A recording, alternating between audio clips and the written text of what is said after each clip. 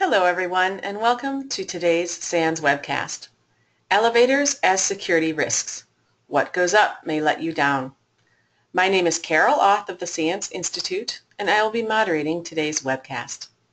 Today's featured speaker is Deviant Ollam, Security Auditor and Penetration Testing Consultant with the CORE Group. If during the webcast you have any questions for Deviant, please enter them into the questions window located on the GoToWebinar interface. We will be answering them during the Q&A session at the end of the presentation. Please note that this webcast is being recorded and a copy of the slides and recording of this webcast will be available for viewing later today and can be found on the SANS registration page. And with that, I'd like to hand the webcast over to Deviant. All right. Thank you very much. Welcome, everyone. This should be a fun topic for those of you who have never seen me talk about elevators before. It is, it is an interesting subject indeed. It's one that's disregarded a lot in terms of security posture. But why are we talking about this today? Who, who are we, the elevator hackers, and how did we come by this? Well, as I was introduced by SANS, I am Deviant Ollam. I am one of the lead penetration testers at the CORE group, which focuses on physical attacks and physical covert entry. My associate on all of this research was the wonderful Howard Payne, he is an elevator consultant an inspector. He is a security guy, and he is a, a real killer at the poker table also, I got to tell you. But why did we talk about this? Well, we'll get into that after a brief word of warning. Elevators in general are very safe, even in the biggest city in this country, New York, which has more elevators than any other city in this country. There are many trips with very few injuries throughout our whole country, only about, you know, a couple dozen people experience a, a, fatal interaction with an elevator in a year. Almost all those are trained professionals working on the devices at the time in the hoistway or the pit. Now that is not to say that you can't get grievously injured by an elevator mishap. Do not screw around with what you're about to see if you haven't been trained properly in the use of elevators. Likewise, you might think yourself smart enough that, oh, well, I'm not going to get pinched in between floors and die. Still, don't mess around with a lot of this content if you don't know what you're doing because it's very easy to damage an elevator system, cause it to fail, cause it to stop. You could entrap yourself. You could cause a lot of, you know, you could be facing a criminal mischief charge if you cause enough dollar value in damage or stoppage. So please bear all that in mind. But why, if these are such, you know, interesting machines. Why go into this at all? Well, you're about to see in this webcast that elevators have a very big application to building and facility security. They are used as part of a building security in some installations, and in my opinion and Howard's opinion, they should not be relied on as security devices really in any substantial way. For those of you who've never looked at anything except the inside of an elevator when you ride in one, a little bit of background for you. There are essentially two types of elevators in use in the world today. There are what are called overhead traction elevators, seen on the left here. That's where you have a large, um, a large rotating uh, drum system on the top that is actually hauling the elevator up and down, balanced by a counterweight. So all of the impetus, all of the force is coming from the overhead. And on the right side, you see sort of the slightly cheaper, slightly slower, and very common and smaller building style of elevator. That's a hydraulic elevator. That's where all of the driving force takes place, usually down in the pit or near the pit with a hydraulic pump that is pushing up from below. But in each case, the elevator itself, the car in which you ride, does not have its own motor other than, you know, a door operator to open and close those cabin hoistway doors. The elevator is being driven up and down by means of technology in the motor room. Here we see an overhead traction motor room. Again, big winch type systems. They're connected to motor generators. They're, they're running up there. A hydro setup, hydraulic motor room, not as sexy, let's be honest. It's a hydraulic tank and a little box on the wall. Speaking of that box on the wall, this is where we start getting into the nitty-gritty of how the elevators go where they want to go or where you want them to go. Whether you're talking about a traction elevator or a hydraulic elevator, there's always going to be a control cabinet in or near the motor room. This controller which is, you know, they have really old ones. Relay logic is still installed in some buildings, old enough installations, but for the most part, you're talking about microcontrollers making logic decisions based on inputs. So this elevator is going to take your input as a user, for example, at the fixtures that are located both on the car operating panel and at the hall buttons. It'll take inputs from these fixtures and it will choose where it's going to drive. Now, you are not the only controller of the elevator. You're not the only one dictating what the controller sees. The controller has a lot of other inputs. Most of them are related to the position and speed of the elevator. Here we see what are called limit switches. These roller switches as the elevator is nearing the end of its travel. It'll hit some slow down switches. There's slow down one, slow down two, and then the platforming limit, the upper limit. You notice there's a fourth one in here. That's called the final limit. If the elevator completely goes goes awry and runs off, you know, the end of its travel, it'll hit a final limit at the top or bottom of the hoistway, and that'll stop everything really fast. And then you need a tech to come out and reset things and get it working again. When the elevator's traveling up and down in the hoistway, this we're looking at a car top here, and on the car top there is something called the selector. There are a number of different styles, but this one just is a magnetic sensor that's running along essentially a large magnetic tape and this selector is reading position information. So the controller at all times should know where the elevator is, where the cab is positioned in the hoistway. It should know what it's doing.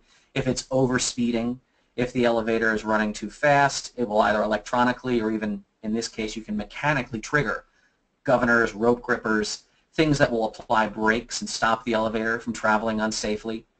And if all else fails, this is our little section about safety because people are often worried that they'll get hurt in elevators when elevators are very safe, as we said. If all else fails, if the elevator just does not stop going downward, it will hit this pit buffer.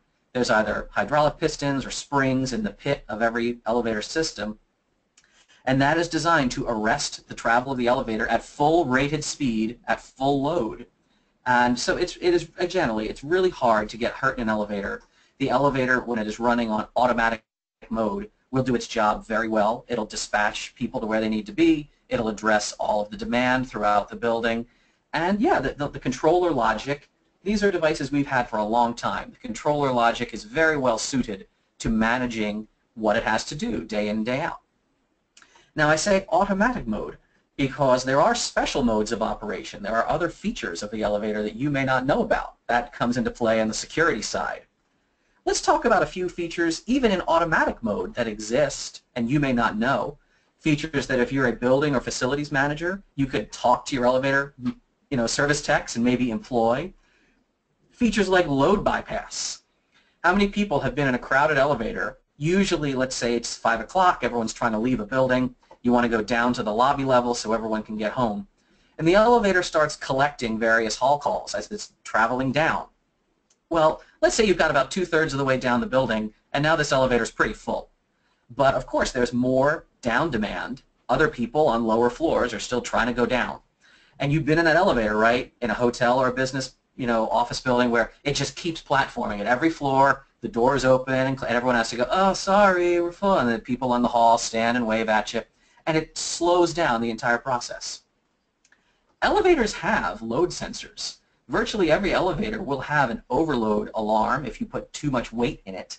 But this load sensor can be configured as one of the controller inputs for what's called load bypass. If the elevator is just full, the elevator will stop trying to collect more calls and answer that hall demand. It'll just get to, let's say, the lobby and keep people moving through that building.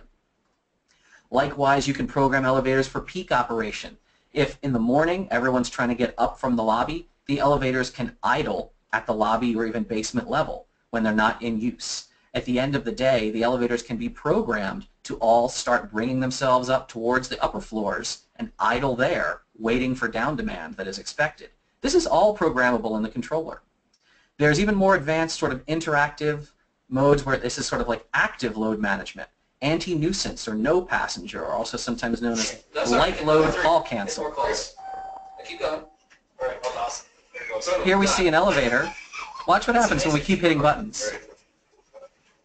We hit buttons, we hit buttons, buttons, buttons. One, two, three, and boom. This elevator is detecting that too many floor demand buttons are being pressed in the cab very quickly, and it's also detecting that no passengers were going in and out through the beam break. It's saying, hey, wait a minute. There's, there's not enough passengers to go to all these floors, and it was just canceling all the calls. You can have things. How many people wish they've been in an elevator that you could cancel a floor once you pressed it? Well, elevators can do that in some instances. They are smart enough. Another feature, this is one for people who may get nervous in elevators. Maybe you've experienced a correction run. This is when an elevator maybe stops or slows down while it's traveling, and instead of going to your floor, it feels like it travels way too far, maybe all the way up, all the way down. Maybe it feels like it's even traveling slowly. That's, that could be, you could be experiencing what's called a correction run. If the selector does not feed the controller input that it's expecting, the controller could be monitoring the motor generator and saying, well, the motor has made this many revolutions, so the elevator should have traveled this distance in the hoistway, but that's not what I'm seeing from the selector. Ooh, what, what's wrong here? The elevator might just stop if it really is concerned that it's going to over travel, or a correction run, it's essentially relearning the hoistway. It will travel usually at slow speed, inspection speed. I think uh, my buddy Howard will tell me I'm wrong, but inspection speed should be about a quarter of normal travel. It'll slowly relearn the hoistway, and when it's established itself, it says, okay, I don't know what that was, but I'm okay again. And then all of a sudden, it'll answer the demand that was happening. Maybe you've been in an elevator when that's happened. Nothing to be worried about. Elevators do their job and have these features for a reason. Let's talk about features that you can trigger, though, to manually give yourself additional control. Let's talk about special modes of operation that you can enable to perhaps change how the elevator would not be, you know, would be behaving in automatic mode. You want to change that. How about attendant service? This harkens back to a time when there used to be an attendant in an elevator handling all of the demand of passengers. You don't see attendants in most elevators anymore, but some still support attendant service. Sometimes there is a key switch or a toggle switch behind a locked keyed locked panel where you'll have this attendant mode on or off. And in attendant mode, this is sort of like we talked about the, the load bypass, right? If an attendant knows the elevator is full of a bunch of luggage and says, well, there's no point in going up another nine floors. We're not getting anybody else in this. An attendant can reverse direction of travel. An attendant can hold down this bypass or non-stop button and continue along until you get to the destination without collecting up more hall calls. This is not seen typically in the interaction with uh, you know, the public anymore, but in some buildings, you will have what's called express or executive or even VIP service, which is almost like an attendant mode for one user. If you have a big wig at some building, they can be issued a key. They insert their key, they turn it, and the elevator will be prioritized for them, depending on how it's programmed. It might even voice announce. It might say something like, this elevator is needed for other purposes. Please exit at the next landing. It might reverse direction of travel for some cars that are in the vicinity. But that is something that elevators can do, and in big enough buildings with you know big shot folk, these are absolutely programmed that way. And if somebody else gets the priority key, well then that elevator prioritizes their demand, doesn't it? The top priority of any elevator mode, the, the highest quote priority service is called medical priority or code blue service. You obviously could expect where you see this, it's in hospitals.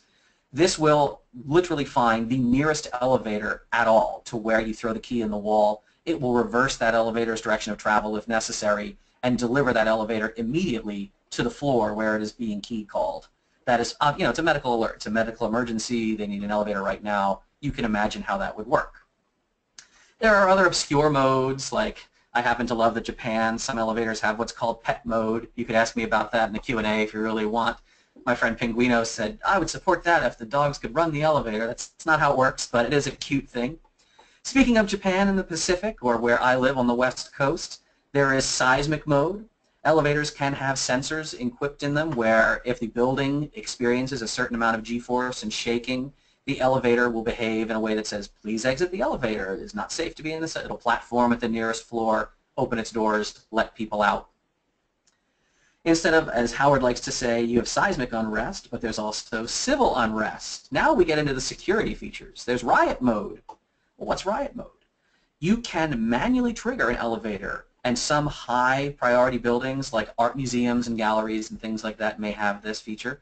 It will disable the lobby or street level landings. So no passengers can go down to the lobby even if they don't know the unrest in the street is taking place. And none of the lobby demand calls are going to bring an elevator to that floor. If the lobby level or the ground level of a building is security compromised, you can still use an elevator in riot mode, as it is, as it is known, uh, around the rest of the building for regular interbuilding travel. Intra-building travel is not interrupted. Now, you don't see riot mode often. As I said, I've only heard of it uh, from Howard in, in some real expensive uh, places like museums. I have heard of a security service in the medical world at hospitals called Code Pink. Code Pink is triggered when somebody tries to move an a high-value object out of a building and the elevator is part of the lockdown procedure. Anybody who's had a child recent years finds out that it's not just the little paper tag anymore on a, on a, on a baby in the nursery, right? They have the little baby LoJack in the hospitals now. If you try to move a baby in an unauthorized fashion, various alerts in a hospital will happen. Doors will lock and security will be dispatched. Elevators can be wired to be part of this. Elevators can trip automatically or manually, depending on the nature of your install, into what is called a security recall posture. This will, again, it'll take control away from the user in the cab. This will prevent the elevator from being driven to certain places. It can even behave like a man trap. The elevator can stop maybe on a certain predetermined floor and sit there with its doors shut. Or it'll forcibly cycle the doors if the guards are at the ready so the door, no one can hide in the elevator. There's a lot of interesting security repurposing that the industry has thought a lot about. There's also interesting security repurposing that just feels very bolted on after the fact, though. You may see key switches in certain elevators that just say things like security on off. What are these? It depends on the install. A lot of times this is just an aftermarket need where someone says, well, we need the uh, housekeeping staff and the service staff to be able to get to, let's say, the basement. But we don't want hotel guests going to the basement. It's not for public you know, use down there let's turn on and off the basement access, or let's turn on and off this particular floor. security lockouts, and we'll see much more about security lockouts in the upcoming section, can do a number of things to try to restrict regular everyday user movement around a building. How well do they work? Well, they can be undermined. They can be undermined with other special modes of operation. Now here's where it gets fun for pen testers. Okay, independent service. We use this more often pretty much than any other special mode in an elevator when we are conducting the physical penetration of a building and we need to move around in an unauthorized way. Independent service is like having local admin rights on one elevator. You've seen a key switch. This, this is a uh, flipping toggle switch. Either way, independent service will take one cab out of the bank of elevators if they are in a group dispatch mode. It'll take it out and it'll ignore all the hall demand. It'll ignore all the other demand in the building and give you local control over that cab from within the car. Now, depending on how independent is configured, this can often even mean like control of the doors. I can use open door open, door close to dictate when and where the doors open. I can drive to different floors. Many times this will override individualized security lockouts that a building may have specified. They might say, none of these elevators can go to the 10th floor. But again, if I'm taking the elevator out of the bank of operation and giving it individual control to me, I can often bypass many of those restrictions. I have used this to hide in a building for hours on end. I've just, one time I wheeled an office chair in. When I had social engineered my way in a building during the working hours, I just sat in the elevator for a few hours, plugged my phone in, there was a little outlet in this panel, and I just read Twitter until it was 6 o'clock, and the, the fellas outside, they said, oh, looks like everyone's gone home. Deviant, come down and let us in. Independent service, super useful. Now, of course, not every elevator has independent service. You know what almost every elevator everywhere, especially in this country, does have, though? Some form of fire service. This is the big one. This is also one that you heard my warnings at first. Don't mess around with this if you don't know what you're doing. But fire service mode, fire service operation, is by code going to override almost all security lockouts and movement restrictions you can think of. Because in an emergency, the elevator has to do certain things. If there is a fire in the building, or if you manually trigger what is called fire service phase one, that's, this, that's what an elevator would be running on if it detects a smoke or heat condition. Phase one will almost always forcibly make the elevator drive itself to the main landing, usually the lobby landing, unless that's where the fire is, in which case it'll go to the alternate landing. But it'll make the elevator platform. It'll almost always, always, always make the elevator open its doors. So we've seen clients where they say, you can't even call our elevators. That without a badge, the elevator won't do anything for you. If the elevator's on fire service, that phase one mode, the elevator's showing up and it's opening its doors, you betcha. There's also fire service phase two. If you're inside of the elevator cab, here we see on the left side of the screen, sort of down in the lobby, you would see that phase one switch. The right side of the screen, this is a phase two switch. This is on the car operating panel in the elevator cab. And if you turn that into phase two, you are then treated as a first responder. The elevator thinks you are a fire fireman and that you are allowed to do whatever you need. Because let's be honest, even if a company CEO, she says, look, there's so much high-tech you know, research we do in this building. I want access restrictions on floors 8, 9, and 10.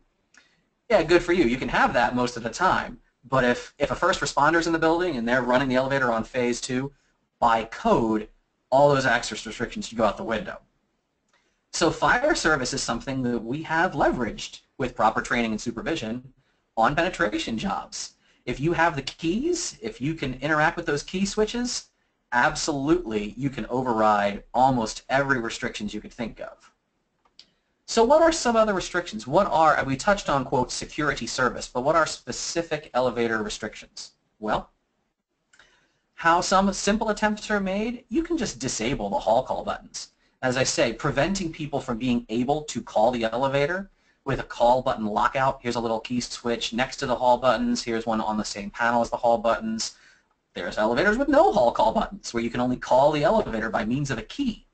Or maybe you've seen this in a hotel. This looks like a standard hall call button. You can see the phase one fire switch below it. But that's not a hall call button. I can't push it. It's just a light. The only way to latch a call in this elevator was to use my room key. And that, you know, the elevator said, okay, here you are. I'm going to, here's an up call. I'm going to service that demand. And it opened its door. If you look around facilities, you might see odd keypads or card readers attached to many hall call stations. So here we see there's clearly a hall demand button and that button is probably disabled by the key switch below. So someone could come up, either use the key switch, which by the way this looks like a Dover impulse system, so we all know what that key switch is. Why do I know that? Well, we're going to get into that in the, key section in a minute. Or if they didn't have keys on them or they don't want to issue a, a mechanical key, a physical key to everybody who needs the elevator, they might issue people PIN codes. And I'm sure this is an aftermarket product that the PIN code would latch some hall demand call. Maybe you've seen this in the cab of an elevator. Maybe you can call the elevator, but individual floors are locked out, where there's a cutout switch for each particular floor, and that floor can be enabled or disabled. Maybe you've seen elevator systems where it's not a mechanical switch, it's a card reader, but it's in the cab. So you, if you want to get to certain floors, you have to, you know, use your room key in some hotels. That's very common. Or maybe in a corporate environment, you have to badge in with your Prox badge before the elevator will go to certain floors. All of these are very typical ways of trying to control movement in a building with an elevator. Do any of them work? No, not, not particularly well. We'll talk about why. The only really neat way of physically locking people off from an elevator, Howard showed me this photo. This is not, you know, a picture of just the hall button. It's the giant, the giant lock next to the hall button. It doesn't control use of that hall switch. It controls this giant cage that is around the elevator. This was in a corrections environment. And you know, this is a funny picture, of course, but this really is representative of kind of the only way you can secure traffic in a building if there's elevators. Think of your elevators like a giant open stairwell. If I can get in that elevator, the, the chance is very high that I can make that elevator go to any floor of my choosing. And unless you are locking off the elevator, you don't need to use a cage like this. But think of, just like an open stairwell, think of a vestibule if at each landing the elevator doesn't dump you right out into a, a big open office plan, but if you have a little elevator landing vestibule lobby that is locked off with doors on either side of it, that is proper elevator security because the elevator itself should not be treated as secure. Why is this? Well, let's walk through some of those security properties that we talked about and knock them all down. Remember when there's no hall call buttons? Like, oh my gosh, no one could ever get in the elevator. Yeah, well, there's a few things about that. Here's elevator doors popping open. What, what happened there? I don't know. Let's watch it again really quickly. There's can't get here, but stick something in. I realize the video is a little shaky and on the webcast it's a little choppy, but did you see what was happening there? Did you see what they stuck through the door? Someone just stuck a piece of paper through the beam and they broke the, the beam break on the, uh, on the door sensor. The door thought something was in it, and the doors just sprung open. Now, I am not advising you to stick something through a door like the hoistway doors when you don't know what's on the other side. This is not a smart thing to do, but you certainly shouldn't rely on the fact the elevator will magically just stay closed at all times without a key or a badge. Speaking of key cards in the elevator, right? Maybe you're in a hotel, maybe you're in a system where you've got to use your RFID badge or else you can't get to certain floors. Well, let's look at this. We can't get to the top penthouse floor of this hotel. There's a card reader. But here's a little locked panel. What's this? Click. That switch, and you'll see a photo of it in a minute, just says card reader on, off. Let's close that up. That literally just allows or disallows the elevator controller to care at all about the card reader input. So here we have on this locked panel down on these Otis fixtures, and of course I had the default key. This is also default key you're about to learn. Look inside the locked panel, in addition to an independent service switch, which probably could have gotten me up there. But that, you know, causes a little more disturbance in the building. Uh, it's it's going to stop servicing demand. Sometimes independent service, somebody might say, oh, what's what's up with this elevator? The, the position indicator in the lobby suddenly said something weird. And then, so independent service, I would have to stay on independent for the full travel run to get up to that top floor. You saw with the card reader switch, I could just switch it off, latch that demand. I could latch a call to 33, and then just turn the card reader back on. That call is already registered with the controller and it's going to travel up there without my need. Independent, always there for me as well. Sometimes these are not toggle switches, sometimes they are just keyed switches, but either way, these electronic switches are telling the controller to ignore or disregard certain inputs. In this case, the input of the card reader. Just forget about cards for a while. So you may notice that triggering these special modes of operation, whether it's independent or fire service or playing with a card reader or any number of other things, you're either talking about manual toggle switches, which are behind a hidden panel, sometimes a lock panel typically, or if you can see them right on the, on the cab somewhere, you're talking about key switches. Now here's the thing that gets interesting, and a lot of people might be blown away by this. There are a lot of elevator keys out there. This is Howard's key collection. It's you know he's he's helped me out building my own up, but boy, his nobody can really rival his. The thing about elevator fixtures is that every one of these keys has a very specific purpose and is very often tied to specific branding. Various fixtures, either the factory default fixtures or third-party aftermarket fixtures that are used in modernization and retrofits, these are all going to have some default keying, typically. And it is very uncommon for anyone to ever change that keying. The elevator equipment shows up, it gets installed, it gets up and running, and you might have a default key. For example, you might have an Otis elevator.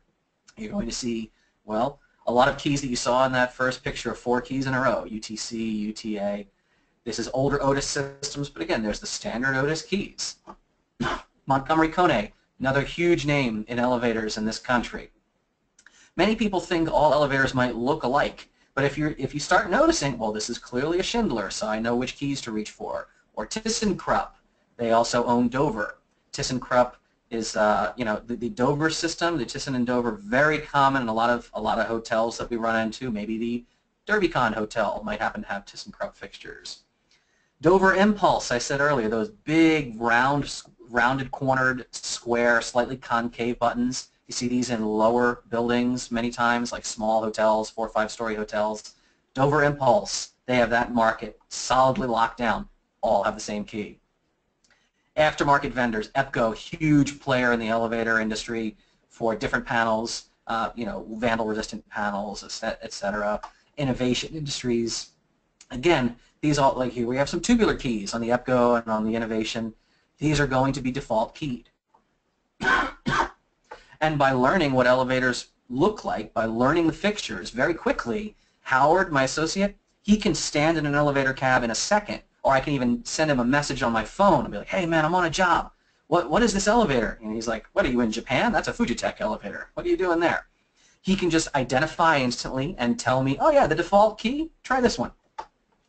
Now it's really interesting, the fact that the industry uses default keying, but many times You'll see notes scribbled in the elevators, especially on behind panels, where there are key switches, because the elevator service staff might not even realize it's a default key.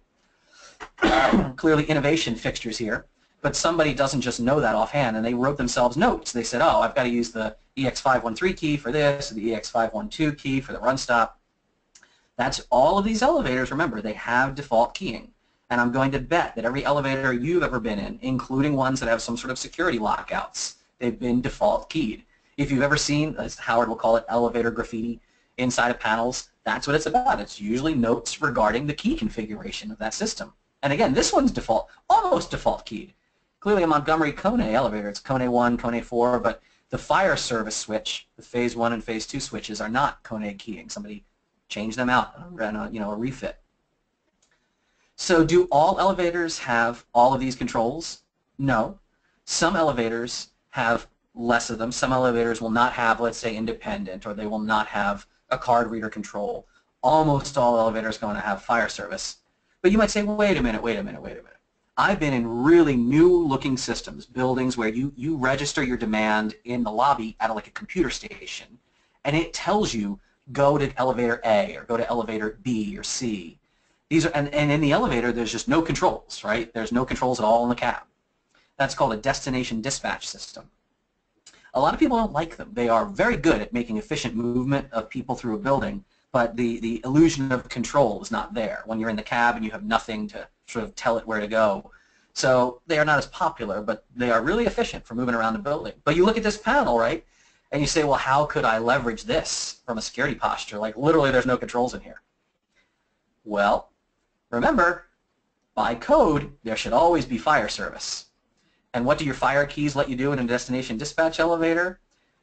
Anytime you're in an elevator that seems to have no controls, look for a key lock and a really big panel door. You know what that's holding? Right there. There's all of your floor demand, all of your, it's, it's like having access to a regular car operating panel. And of course, on various special modes of operation, you can, you can leverage that like you would a conventional elevator.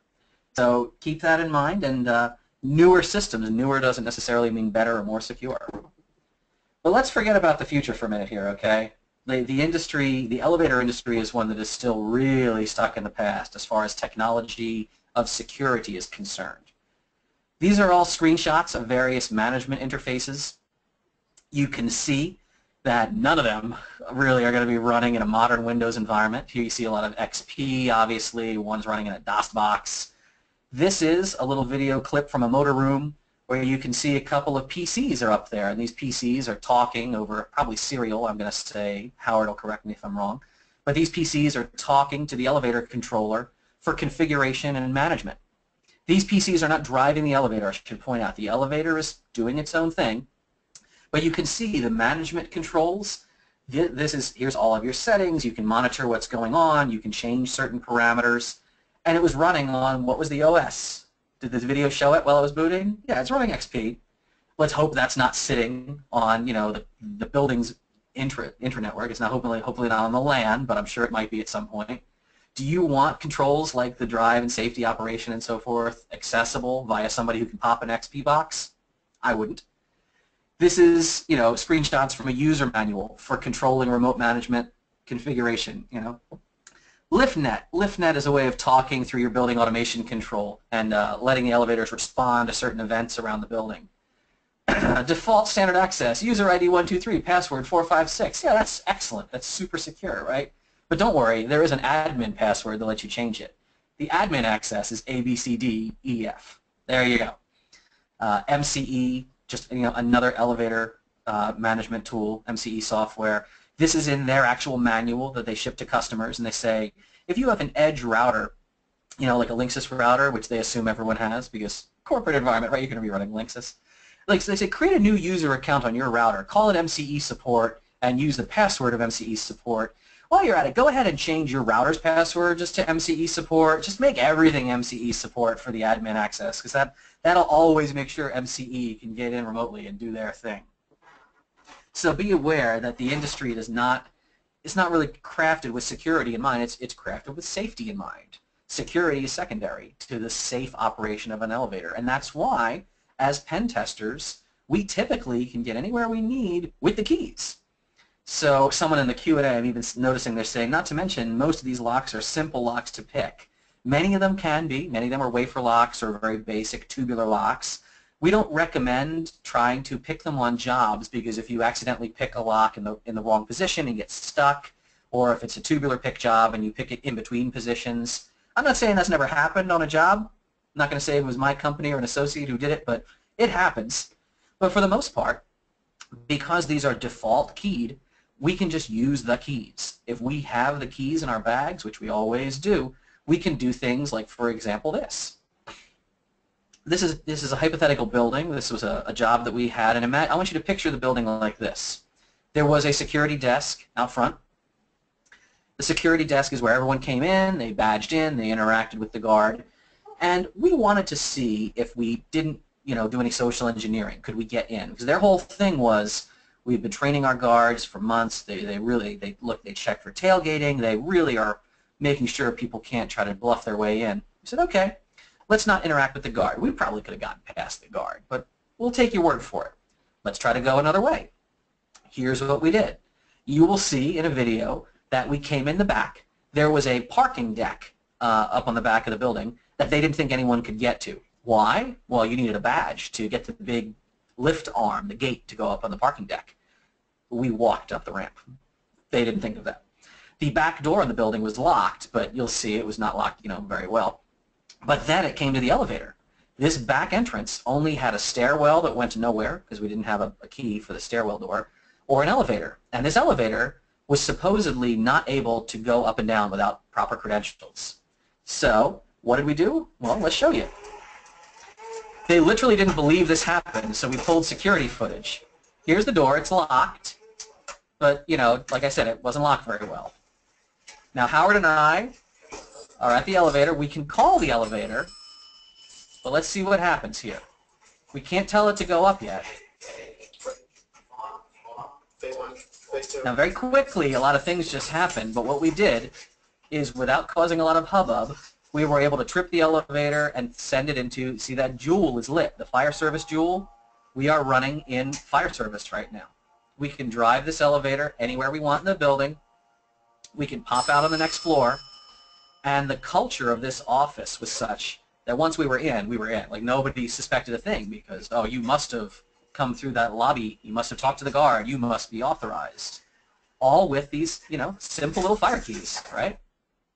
And when we showed this to the client, the, you know, one of the managers went nuts. They went ballistic, and they said, "Oh my gosh, we were lied to by our elevator technicians. We were told that elevator doesn't go up." And I was like, "Listen to what you're saying, brother. Like, elevators have one job, which is to go up. Of course, they in their head they they pictured elevators can't go up without a badge. But if you're running in fire service, absolutely. Let's talk about those fire service keys for a second. A couple of interesting case studies. Many states have a single key for their whole state. Sometimes this is a key that every elevator is required to use on the key switch. But more often than not, what states have, because that's very expensive, obviously, to retrofit every elevator. That's, that's hard to do. But many states have started adopting key boxes where there will be a specific place in every building, usually a little red box, and that box will be equipped with the statewide key. That box will then contain the fire service default keys for whatever elevators are in use at that facility. Now these key boxes, you usually are not supposed to be able to have the keys for them, obviously. Like they don't just sell these you know, easily, unrestricted fashion. They'll sell you the box though. So if you say, oh, I'm John the constructor and I have a new building going up, I need to call up my vendor and you know I'm going to call up uh, Vader Accessories or who knows, I'm going to buy a box. So they'll send you the box, but they won't send you the key. Now, have you ever done any lock picking? You can absolutely pick this lock. Let's go ahead and pick it. Not only can you pick the lock, but then you can measure the, the lock once you've picked it open, especially a tubular lock. Maybe use a little tubular key cutter that you have right in your tool bag and make a working key. And we have in fact done that. So here you have the key box is working with this handmade key. We have the entire elevator key for Indiana at this time. We actually did this in many states. We did this in states, for example, that don't use a tubular key but use a Medeco key. If you're familiar with Medeco locks, they are a, a nice design, not completely unpickable, but I wouldn't want to stand there trying to pick it. Again, though, they'll ship you the box. They will ship you the lock, not the key what can you do if the box is open? Because it comes open. You have to be able to mount it to the wall. If you can get to the back side and disassemble the lock, pull it apart. If you know anything about high security locksmithing, you can take out the pins, measure them, reassemble it, put it back on the wall, and then there you go. We have the Kentucky key box. We have the Virginia key box. We have the Louisiana key box. We've done this a lot of places. And we have the bitting for those keys. But the real big one, the real big security risk as far as universal fire keying is, and Howard will, he has hammered this at industry conferences, the FEOK1. What is the FEOK1? Okay. This was designed to be a universal standard fire key. It was literally rolled out as part of the idea of updating code. So, you know, they said, look, this should be the new standard key. None of this Indiana box and California box. There should just be one key. And there's very often seen either in the elevator fixtures itself or on these key boxes. Let's take a look at what the FEOK1 key did in one building that we were checking out. So here is a building. Now you can call the elevator. Penetration testers make it look like they're just getting in the cab, but instead somebody reaches up with their FEOK1, pulls a few things out of this little red elevator box. Well, what's in there? Well, there's a key to this room, the elevator service room, the equipment room, but it's a small enough office building that they were using that for everything. They were using that as their security office. You can see the camera system there. You can see their network rack is in there. Here's the machine room itself. In there, there's another lockbox on the wall. If we go ahead and use a tubular pick to pop this lockbox open, you'll see we discover something else that you should never have access to in an elevator system. If you're a member of the general public, you should never have what's called a drop key. That's very bad if people get their hands on that. But let's, let's recap. What did the FEOK1 give us? Well, it gave us the local fire service key for that building so that the elevators, we could use them on fire service mode if we wanted to get around and pass restrictions. The alarm panel was locked up. That key was in the little red key box. The sprinkler valve locks. Uh, this state the building was in, uh, a state that requires all valves to be controlled and locked in the open position so that nobody can accidentally turn off the water. You know, you could have someone get the key and turn off the water. That'd be pretty bad. Obviously, it gave us access to the machine room door, which was actually also sort of the SOC of that building. So basically, in this building, the FEOK1 gave us everything. It gave us full access to the entire building. And this is, again, it's by code. When ASME put out this original FEOK1 designation, they said, you know, this is a very powerful key. It should work everywhere. And of course, it should be limited to elevator personnel and emergency responders. You, should, you don't just want this floating around, right? Well, I told you, this is not an industry that comes from a security background. They published the direct bitting code of the FEOK1 in the code document. Like, this is online. This is online. It's a PDF you can just download. Like, that's on the internet right now. And someone said, yeah, that seems legit. That's a good idea. Let's go ahead and do that. Now, they have revised this code document, actually. Um, oh, you thought they revised it and took out the bitting. No, the bitting is still in there. But now there's also a beautiful dimensional drawing that shows you exactly which positions the code is in because some people were making the keys, they were cutting them clockwise and not counterclockwise. So they said, no, no, no, you guys, let me make sure you really understand how the FEOK1 key looks. And what did this lead to? It led to exactly what you think. The FEOK1 is all over the internet now. Uh, it's a key you can buy for basically no money on eBay, on other websites. Uh, and it's, it's incredibly powerful. It's incredibly scary that cer certain places, like I think Howard will correct me if I'm wrong, but the state of Vermont retroactively required all elevators to be FEOK1. So every elevator in Vermont was modernized up and had their key switch changed for fire service. Plenty of other local local jurisdictions use FEOK1. It is it is the top fire service key. And remember what I said earlier, if you don't know what you're doing, you shouldn't be messing with these special modes, especially fire service mode. So are there even more powerful modes, by the way? There are. You think, how, how could that be? Who could be more important than, than first responder crews? Well, elevator techs, of course. I mean, it's not just because elevator folk think that they're the most special people in the elevator world. It's that if you're working in the hoistway, if you're using what's called hoistway access to do service and maintenance, you need to be in control of that car. You need it to do exactly what you want it to do. You should not mess around in an elevator shaft if you don't know what you're doing in an elevator shaft. I think that goes without saying. You should not be putting elevators onto hoistway inspection or sometimes called hoistway access service. But if you're in the hoistway, that is it. That is the ball game for control. You can run the elevator using controls that are in the that are that are outside of the regular cab and get anywhere at all. Talk about bypassing your lockouts. This was a medical facility, and this is late at night. We are on a lower floor, and again, you can see we pulled the security camera footage, right? We're on a lower floor, and we want to go to an upper floor. This is completely not how you're supposed to do this. You are, we are seizing the elevator car top in a very non-standard way. But with these hoistway doors open, let's flip on a work light. There's the elevator car top. We're all going to stand on top of the car, and using these car top run controls, you're going to witness a ride take place in the hoistway. All right. So we're going to let these hoistway doors close very gently. And as soon as those doors close, the elevator motor is live again. This, the safety circuit is enabled. And we can now drive this anywhere we want. We can drive it down. We can drive it up. We're proving that we can travel anywhere in the building. And ultimately, you're going to see where we go. Let's just go ahead up to the next floor, the restricted floor, where there was, I think there was all kind of medical drug storage on this next floor. Those hoistway doors are not locked on the inside. If you can get inside the hoistway, you can open them up very easily. And there we are. You can just send it down. So we were upstairs, we were able to get through the building, and there's no audit log of that happening. There was no record of that happening.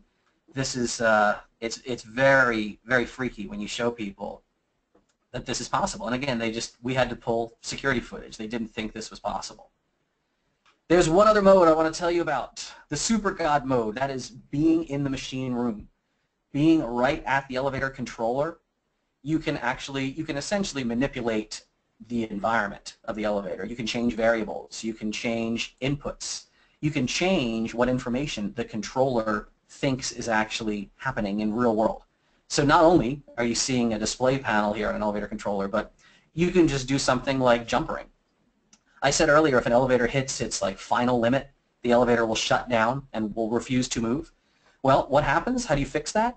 An elevator technician comes out and will actually put jumpers on these circuit blocks and they will jump out various contacts. They'll change the elevator's perception of what's happening and they'll be able to run the motor out of spec to you know, get that elevator back into its normal course of travel.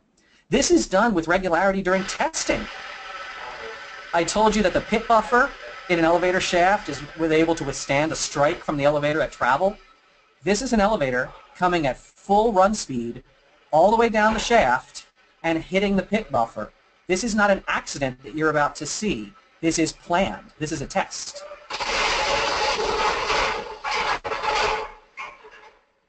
Now that sounds really bad, and this camera's on a tripod. No one's down in the pit watching this, and no one is in the elevator when this happens. But this is a five-year test. The elevator technicians will jumper out all the safeties and force the elevator to crash into the pit buffer. And it's supposed to be just fine. And in this case, it was just fine. Now, if you're in the elevator when that happens, you might get a little shaken up. That's why you don't want anyone in the machine room remaking the environment that the elevator is running. A quick one for all the old-time phone freaks. Elevator phones. There are emergency phones in most elevators. They should all be there by, by code. Some of them are violating code. The e-phone not working is a common problem in crappy elevators. But that means there is a live phone line in almost every elevator. Now you can get to it from the machine room. You can sometimes even get to it right there on the panel. And, you know, depending on what you're trying to leverage on a pen test, having a little pocket telephone with you, which our friend Dennis always recommends, this little hands-free corded telephone microphone kit you can find on Amazon. Being able to tap into a phone line, place phone calls, maybe even hit the local PBX, it's not a bad idea, especially if you're, like I was, on independent service, sitting in an elevator for two hours waiting for a building to empty out. I could have done some interesting things with the phone line. The real scary thing about phones and elevators, though, is not making calls, but just listening in. Elevators are spaces where a lot of people treat them as private. They will have very sensitive conversations. Elevators have e-phones or intercoms, depending on the setup, and the nefarious thing really is, is just calling up an elevator and not talking, just listening. Here we're going to see a little video. I hope it's not too choppy. So here we are. This elevator system has an intercom. right in the lobby. Intercom. See them in the motor room or anything else? Now I'm going to get in this elevator, and I'm just going to talk. What happens if people are in the elevator and you press this and you don't say a word? So let me get in here. So I'm in the elevator, and let's see if you can hear me. And I'm just a guy in an elevator talking.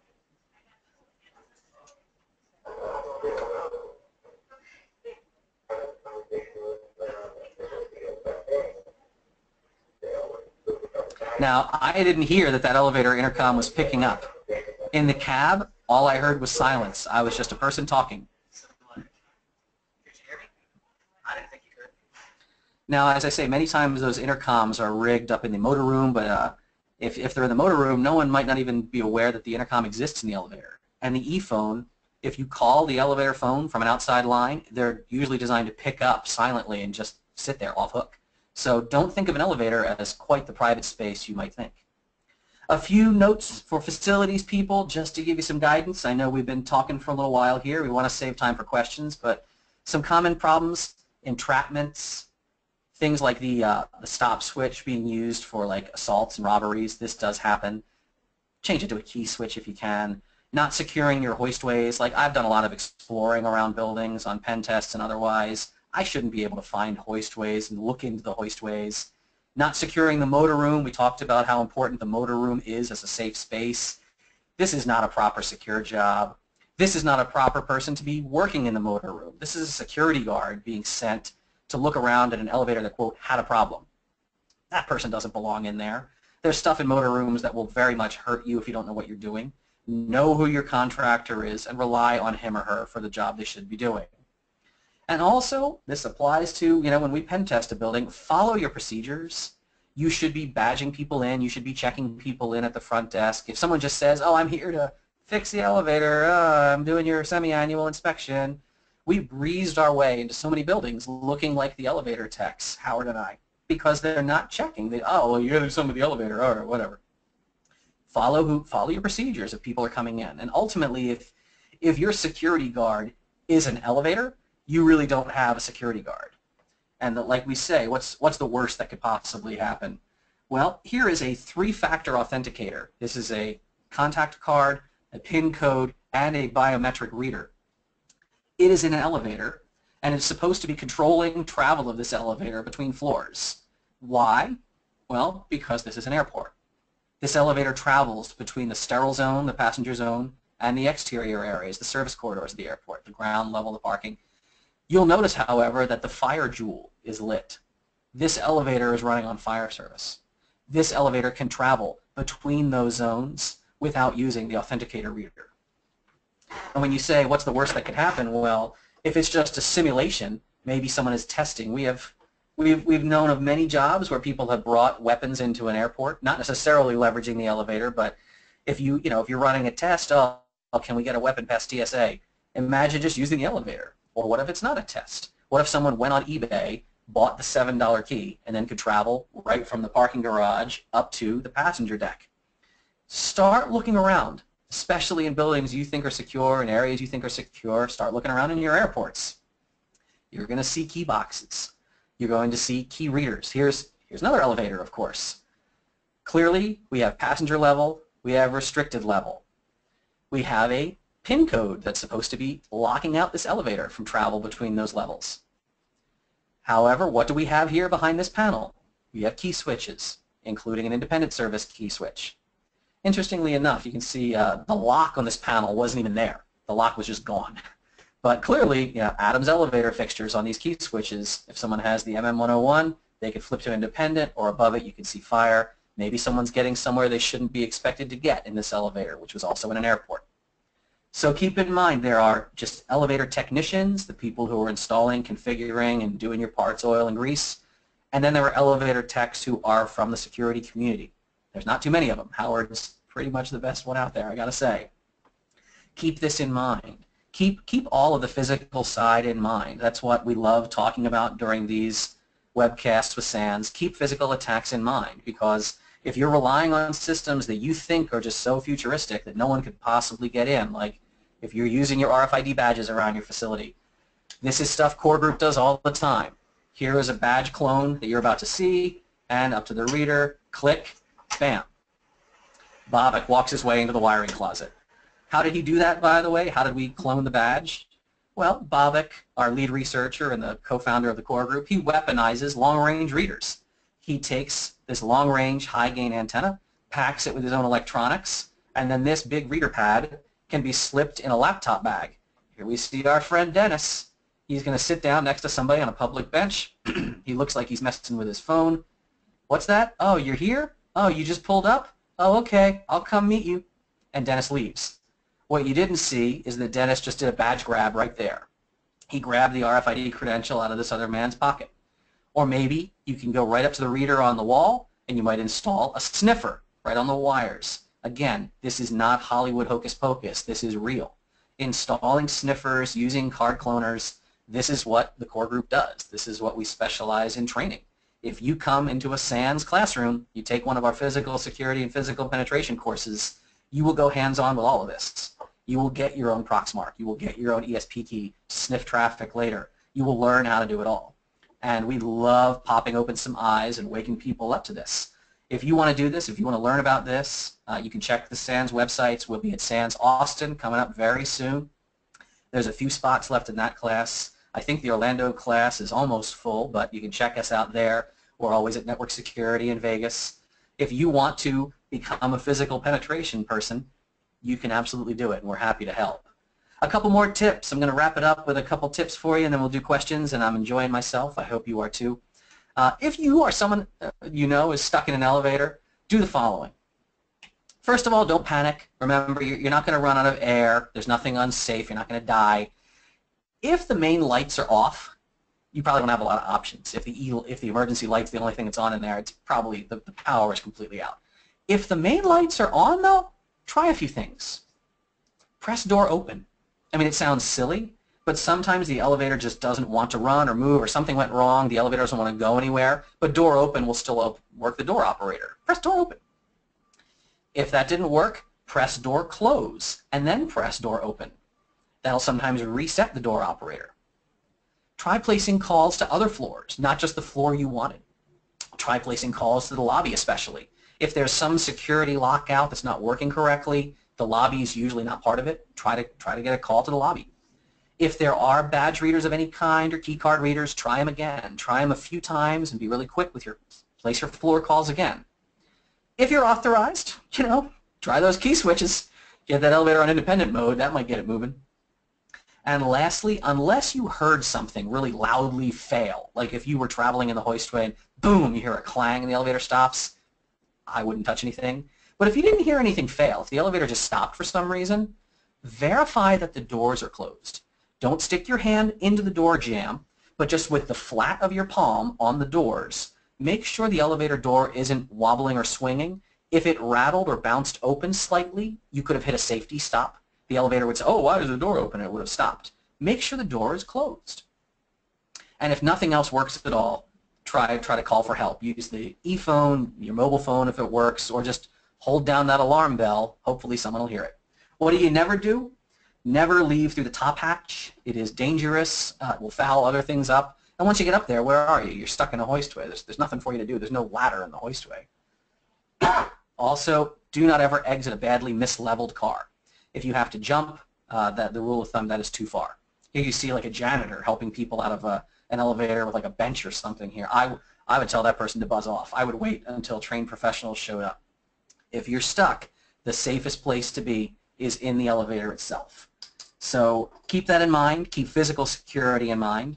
And thank you so much for listening here. I'm going to go down the questions. I'm going to enjoy hearing your thoughts on all of this. And yeah, this was this was really fabulous. So as you are kind of used to with the SANS webcast experience now, I like I like giving you the personal touch with my questions here. So hopefully we can see this window. I hope the window is not blocking the screen. I can try to read it up here. So yes, hello, Dying is bad. Ouch, says Greg. Yes, remember, what was the first thing we said? Dying is bad. We don't want you messing around with elevators if you don't know what you're doing. Uh, we are, to various degrees, trained professionals. Howard is, is truthfully the trained professional on our team. The rest of us, you know, look at look at this look at this crew of jokers. Would you trust us around your building? I hope so, because we're really good at what we do. But in general, keep that in mind. So needed something to quit. But I was in California, Greg says, and a smart-looking young man was chatting up a very lovely girl. Then he leaned against the buttons. Most of the floors were then selected. It was very funny. It was funny as long as you weren't trying to get somewhere very quickly. Uh, yeah, that, that's what we talked about, the multiple call presses, multiple button presses. It's nice when a controller will detect that as an error condition and just blank them out. Derek asks, what recourse do we have to secure elevators that have these fire keys required by code? Magnificent question. Very little is the answer. Uh, anybody who has talked to legal over code compliance knows there's not a lot of wiggle room most of the time for any sort of code compliance issues. If you saw my last webcast, I showed uh, you, you know leveraging ADA compliance and getting through doors by bypassing with the handles.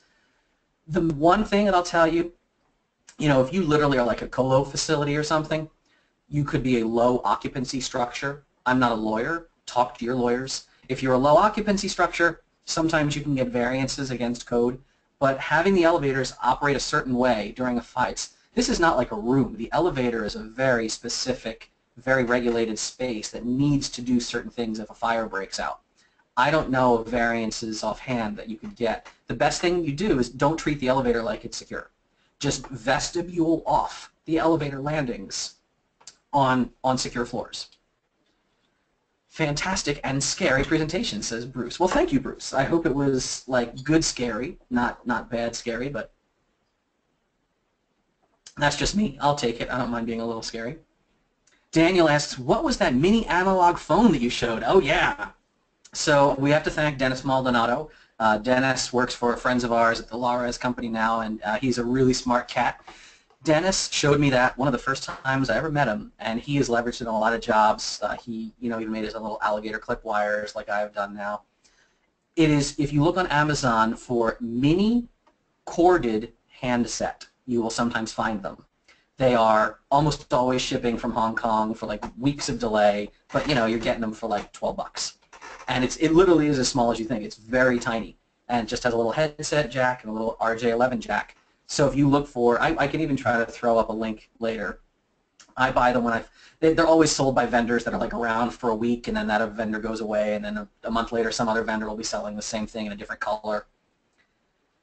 From Tom from TOOOL says hello. Oh, right on, man. TOOOL, are still, now are you still in Portland, or did you move from Portland? It's funny. I grew up in Philadelphia, where if you're from the New England area and someone says Portland, where this Tom is from, it's assumed to be Portland, Maine. My fiance grew up in Portland, Oregon, and I quickly learned that uh, most of the country, if you say Portland, is thinking Oregon. I grew up in that little spot in the mid-Atlantic where if someone says they're from Portland, we say, which one? Good to see you, Tom. Oh, Night Owl, you joined too. Another one of my lockpicker buddies who said, I would trust you around my building. Well, I'm glad you would trust me around your building. I am, I am the pinnacle of respectability, as you well know. I've never done anything wrong in any building. Any luck tailgating into or out of an elevator? Asks Scott. Um, yeah. Like, elevators are not a sort of situation where anyone really, the, this, the cultural phenomenon of hold that door and someone sticks there, oh yeah, I got the door for you. That's very typical.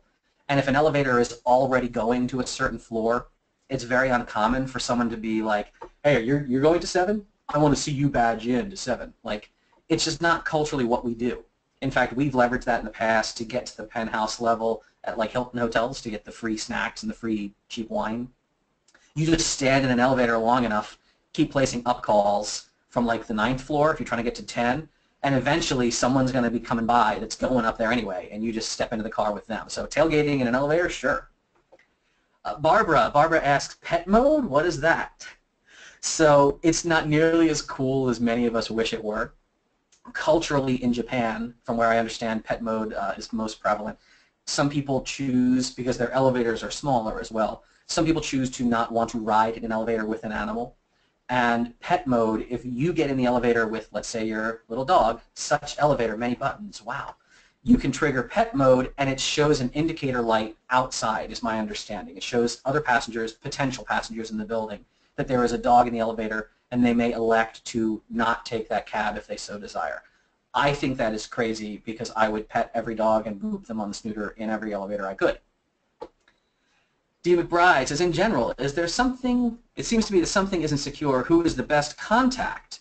Uh, the building owner, the elevator vendor. So yeah, if this is if you're if you notice something is wrong and you're pointing it out, and you say, oh, what who do I tell? It's a very common in all of the security industry, right? Like where do I report this finding? Who's going to listen? It's a mixed bag. If something is not secure in the sense of an unsafe condition, I would talk to like the building facilities manager. Uh, it's not necessarily like if this building has five floors and the top three floors are one company, uh, they might be the biggest tenant in that building, but they're not probably managing the building. Maybe the person at the very front desk downstairs or the person on the deed of the building, like that's who you want to be getting in touch with. If you're ever unclear on a safety issue, try to find out the AHJ, the authority having jurisdiction in your region that is the authority, the party either at the state or local level or sometimes a private entity that is doing the inspections, the safety testing. If you're talking about you found a security condition, like there's supposed to be a badge reader that works but it doesn't actually stop people from getting to the data center, talk to your head of security. Talk to the same person you would talk to if a lock was like missing from a, a door on the side of the building. Like, hey, the, this lock is gone. Somebody want to look at that? The person you would call, I mean, put it on their plate. And they're not going to be happy they're going to be like, ah, I don't know about elevators. What do you want with elevators? And then maybe they'll call us, and we will happily answer their questions. Uh, James also asked about pet mode. Yeah, like uh, I, I am dying to, uh, I'm dying to see pet mode in an elevator. I gotta say, um, I'm planning to go to to Japan. I think uh, Tara and I are going there in September. Maybe if I get to Japan, I'm going to tweet some pictures of pet mode. You better believe it. Curtis asks, what was the circular key reader and cutter? Ah, so what you are referring to, I believe, in the industry would call that a tubular key. A tubular key, also sometimes known as an ACE key or a Chicago key. That is because the Chicago Lock Company, who is now a division of CompX, they've been acquired, Chicago Lock made the original ACE lock. That was the tubular form factor. It would just be called a tubular pick that we used. Um, you can pick up tubular pick on a number of vendor sites. The one that we sell uh, our students, after our classes, if they want more gear, they will go to redteamtools.com. Uh, the one we sell is from a company called Southern Specialties. They've actually recently been acquired by Hardcase Survival. Uh, badass equipment. I love Jeff and Tina at Hardcase and uh, Michelle and Richard from Southern. They, they designed this really nice tubular pick. So you would just look for tubular pick or tubular lock pick. The cutter, there are a few that exist. The one in that photo, it has a fun name. It's called a hurdy-gurdy. Uh, we have a slightly smaller one in our technician field kit that I believe is made by HPC, and it would just be called, either case, it's just called a tubular key cutter. So, Tom Williams says, uh, live a couple hours west of Boston. Oh, so yeah, you, oh, you're at Salesforce.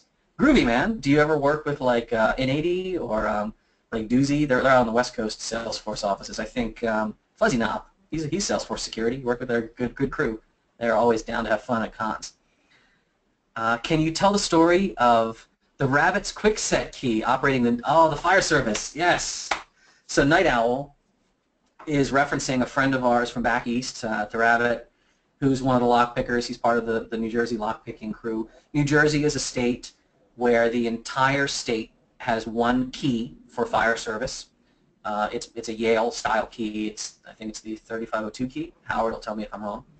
It's uh, one key that operates all the fire key locks and the fire key key switches. Uh, the rabbit found out that his key, which was not a Yale key and it was not the fire key, would stick into the locks and would turn. He was able to open locked panels. Howard and I inspected a bunch of fire service switches, found out that they will operate as well. What happened there? For interoperability and maximum compatibility, some of the most popular vendors of key uh, lock hardware and key switch hardware, we're essentially cutting corners. If you want to see more detail about that, I would recommend you check out the talk that Howard and I presented at the HOPE conference in New York, the 2600 conference. There's a talk called This Key is Your Key, This Key is My Key. And at the very end of it, this was about keyed alike systems. At the very end, we showed the story of the key that the rabbit had, and we showed how we took the locks apart. And the amount of keys we were able to shove in and make them turn in some of these installs was astounding. Brad asks, any useful info on elevator certificates? Is there any good info? Well, there is the smiling face of Cherie Berry, the elevator lady, if you're in North Carolina. Um, that is that is an elevator industry joke. Boy, I am getting really reductive and silly with that. But so is there any information? Many times nowadays, elevators don't even have the certificate in the cab. Many times it'll just say this certificate is on file in the office. And it does lead, though, to the anecdote that I will say is if you're a building supervisor, if you're in charge of facilities, have a little oversight there.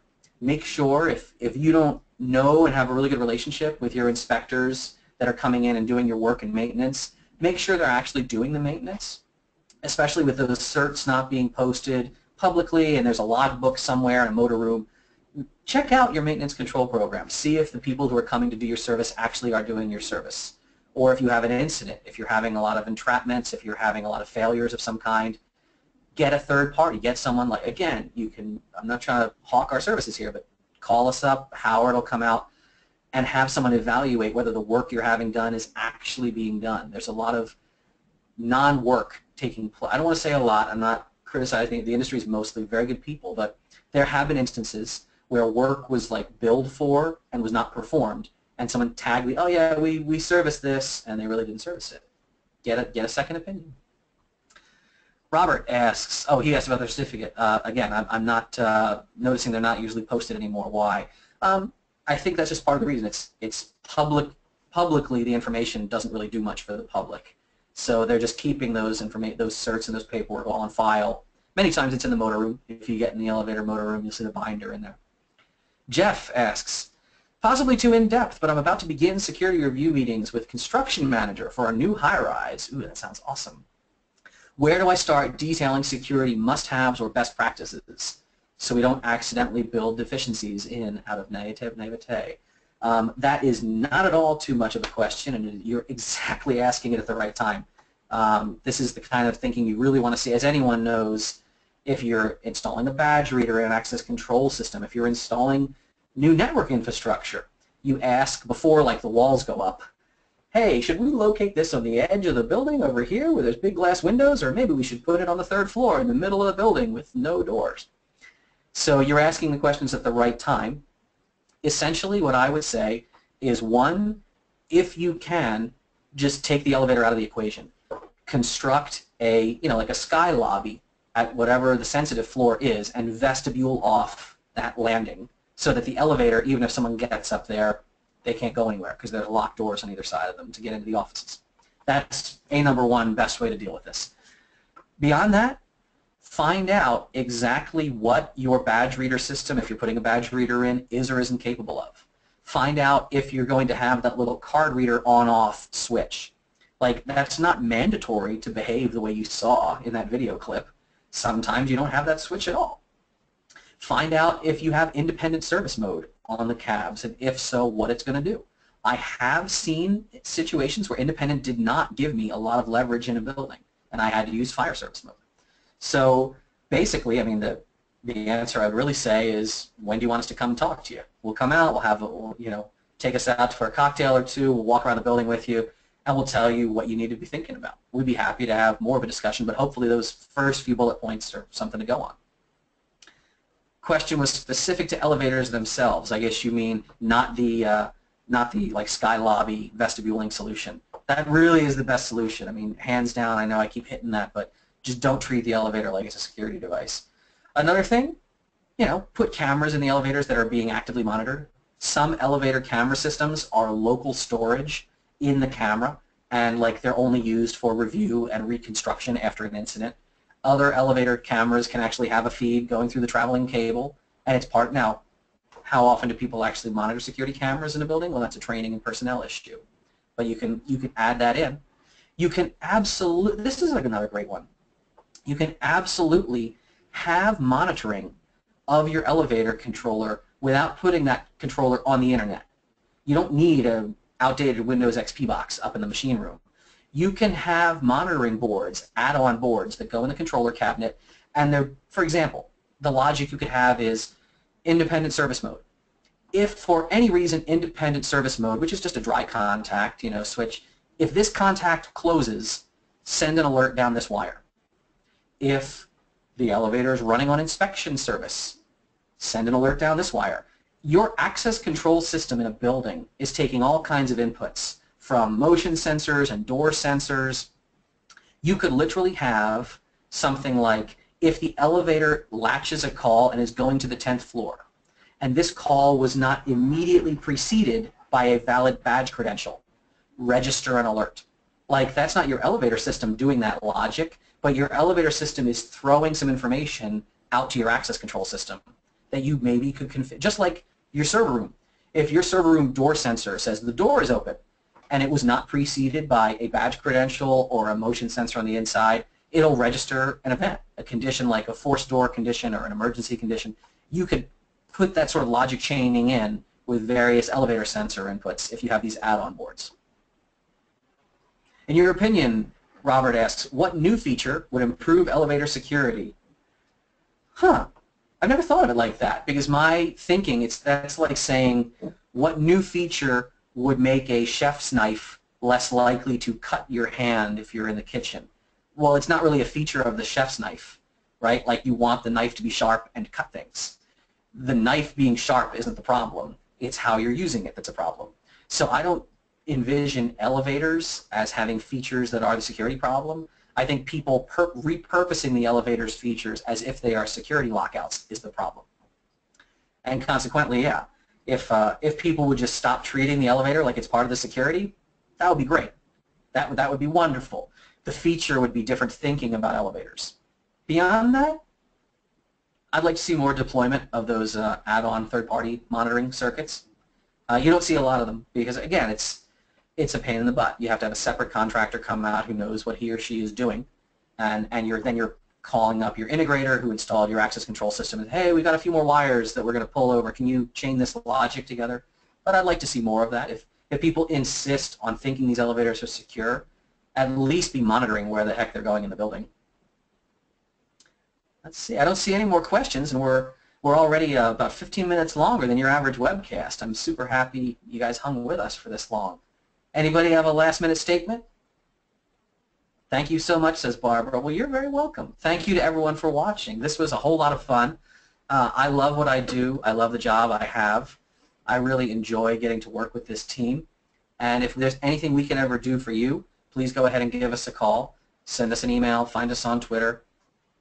And if you want to learn more about this, definitely come to our classes at SANS. We'd love to see you in Austin.